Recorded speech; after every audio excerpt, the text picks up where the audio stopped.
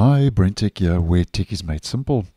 So the Windows firewall in Windows 10 and 11, as you may well know, prevents unauthorized access to your network by monitoring and controlling incoming and outgoing traffic, which is a good thing. But sometimes it can block apps that you actually trust.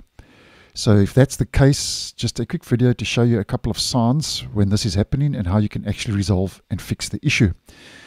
Now, a couple of signs to look out for is that the most obvious would be Windows security alerting you and notifying you that the firewall is blocking some features of the app and giving you the option to allow it access.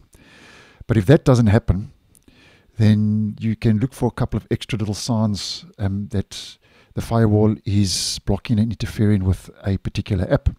The first is an in app error message that tells you the firewall is blocking some of its features.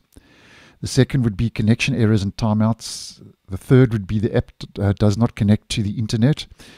And the fourth would be features dependent on network access are not working. So those are a couple of signs you can look out for if the firewall, for whatever reason, is interfering and blocking an app that you actually trust and need to work on your system. Now, how we go about um, checking to see um, if an app has been blocked by the firewall is to check its list of allowed apps. Now, this is something that's buried um, in the actual Windows Security app. Now, I have mine on both systems here to the right on the system tray because I use um, Microsoft Defender as my antivirus. But I'm just going to go for a general setting how you can access this for this video because not everybody has Windows Security in their system tray. So you can follow the steps in this video for both operating systems because it is a similar process um, on Windows 10 and Windows 11. Now on Windows 11 what you would do is you'd head over to your settings, head to privacy and security and yeah you'd click on Windows security.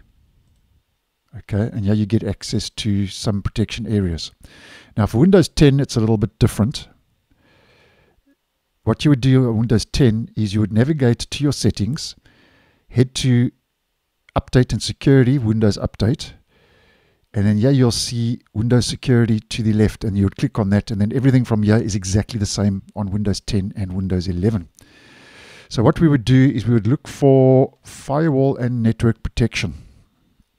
Okay. And then to the bottom you will see allow an app through firewall and this takes you over to the legacy kind of side of the control panel and the legacy side of the operating system as you can see. Now what you need to do here is you need to find the app you think the firewall is blocking and check the checkboxes in the private and public columns next to it.